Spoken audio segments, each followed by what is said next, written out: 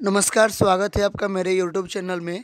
जी हाँ दोस्तों, बिहार विद्यालय परीक्षा समिति में जो डीएलएड का फॉर्म आया था, उसका एडमिट कार्ड आज जारी होने वाला है। ऑफिशियल नोटिफिकेशन जारी कर दिया गया है। तो ये इसकी ऑफिशियल वेबसाइट है, बिहार विद्यालय परीक्षा समिति, बिहार स्कूल एग्जामिनेशन बोर्ड। तो चलिए देख लेते हैं कब से आपका एडमिट कार्ड डाउनलोड होगा और कैसे डाउनलोड करना होगा।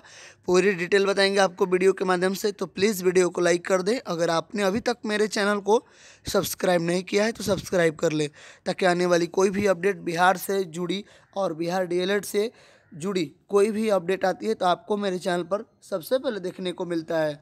जी हाँ दोस्तों, यहाँ पे देखिए लिखा गया online examination application form for DElEd joint entrance test 2020 ठीक है डीएलएड के लिए जो अप्लीकेशन यहाँ पे list of application ID accepted for candidates who has applied more than one times जो कैंडिडेट्स एक से अधिक अप्लीकेशन फॉर्म भरे थे, यहाँ पे उनका लिस्ट दे दिया गया है। और जो कैंडिडेट्स एक से अधिक फॉर्म भर के अपना पैसा पेड नहीं किए थे, उनका भी यहाँ पे लिस्ट दे दिया गया है। आप डाउनलोड करके चेक कर सकते हैं। और इसके साथ आप यहाँ पे नीचे में आते हैं तो यहाँ पे देखिए। Download dummy admit card for DElEd joint entrance test 2020 16 February 2020 10 at ten A M. जी हाँ दोस्तों, आज से आप अपना एडमिट कार्ड डाउनलोड कर सकते हैं।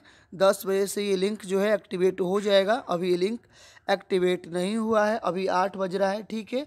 Download dummy admit card for DElEd joint entrance test 2020 16 February 2020 at ten A M. दस बजे से आप अपना एडमिट कार्ड डाउनलोड कर सकते हैं लिंक एक्टिवेट हो जाएगा। मैं आपको डिस्क्रिप्शन में इसका लिंक भी दे दूँगा इस साइट का। वन क्लिक करेंगे तो ये विंडो ओपन हो जाएगी और यहाँ पे आपको दिखाई देने लगेगा कि आप अपना यूज़र आईडी या अप्लीकेशन नंबर जो अपने फॉर्म भरा होगा उस पर अप्लीकेशन नंबर होगा या फिर रजिस्ट्रेशन नंबर दोनों में से कोई एक होगा, उसको डाल के अपना डेट ऑफ़ बर्थ पासवर्ड और कैप्चा फिल करेंगे तो आप अपना आसानी से मोबाइल में ही एडमिट कार्ड डाउनलोड कर सकते हैं। चलिए, जब आएगा तो आपको मेरे चैनल पर वीडियो देखने को मिल जाएगा और कैसे डाउनलोड करना होगा, उसमें मैं पूरा तरीका बताऊँगा। तो ये पूरी अपडेट है दोस्तों तो प्लीज़ वीडियो को लाइक कर दें। दोस्तों, में शेयर करना ना भूलें। बिहार से जुड़ी कोई भी अपडेट सबसे पहले पाने के लिए